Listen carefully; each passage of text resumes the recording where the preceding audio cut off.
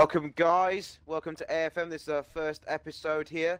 We're going to be looking back at the basics of braking, why using assisted braking won't benefit the regular Forza driver, and the differences between ABS on and ABS off. If we go to the assists, uh, now a lot of people that are new to this game will go for assisted braking. Assisted braking will take the reins for you. As soon as you get the game, just turn it off. Turn it off because then you learn in the tracks, and part of these tracks is corners. If you want to learn the track, then turn your assisted brake off. The problem with assisted braking is it adheres to the racing line, as you can see here. When the racing line turns red or is about to turn red, the braking will uh, will be applied by the AI and slows down for you. Now, for me, braking goes hand in hand with cornering, and assisted braking really does feed that misinformation to the driver. It will initially brake further back than you should, it, it, and it kind of it kind of kind of doesn't give you the right accurate braking point at all. It's braking for you so you can have a comfortable drive, not so that you can hit lap times. We definitely recommend never going into multiplayer if you're still using these. If you're not comfortable with um, using ABS on, then please try not to go into multiplayer.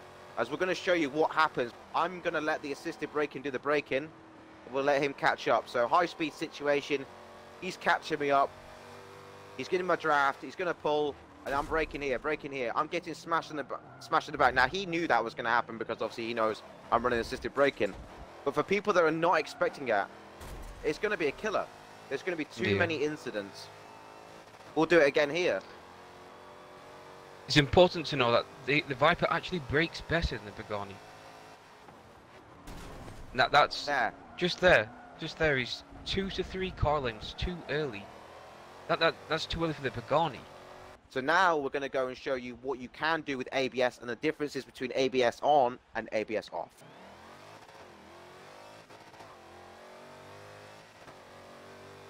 Here we go.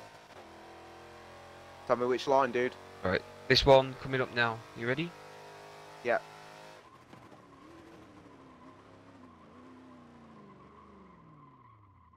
That is the difference between ABS on and ABS off. Now, we were roughly going the same speed there.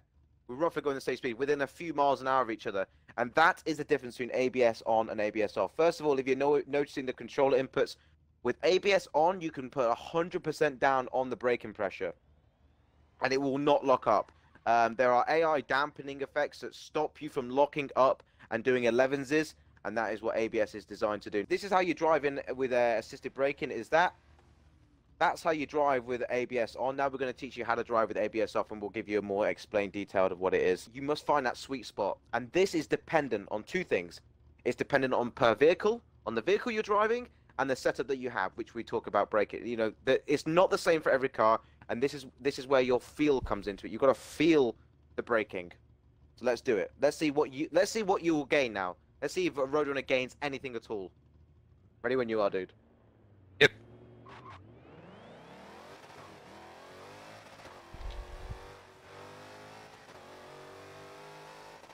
Tell me which line it is, dude. The one coming up.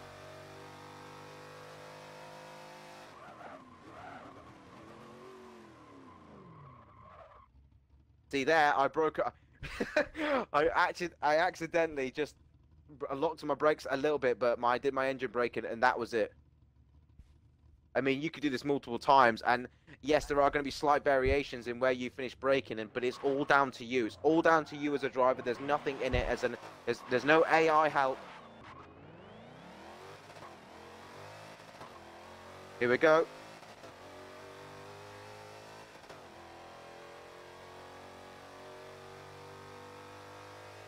So watch my braking.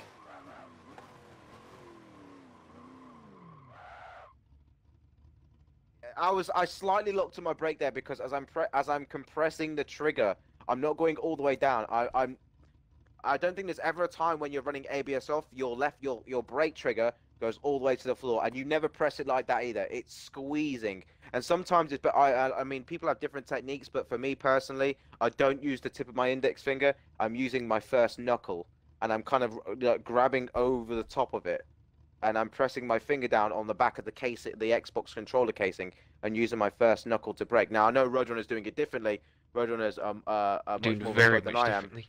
He does it differently because his my clutch middle finger. is yeah exactly his clutch is his fr- his index finger, so he uses his second finger like this, and that is just so much more for me. That's mind blowing. I, I would never ever drive like that, but that's his preference. So that's his clutch. Yeah. This is his brake, and that's his finger configuration. finger on the brake. Okay, so that's how you so that like that. That's how you do it then. That's how you would do it. So, but for me, Yeah. For me, it's just index finger on the brake, and I wrap it round, and I'm squeezing it. I can get a much better refinement and judge by squeezing. The tune for the 2016 Dodge Viper ACR is publicly shared, so please do give it a download. Also, like and subscribe to our channel. For all the live action, follow us on Twitch and Twitter using the links in the description below. Remember, guys, pick up the tune.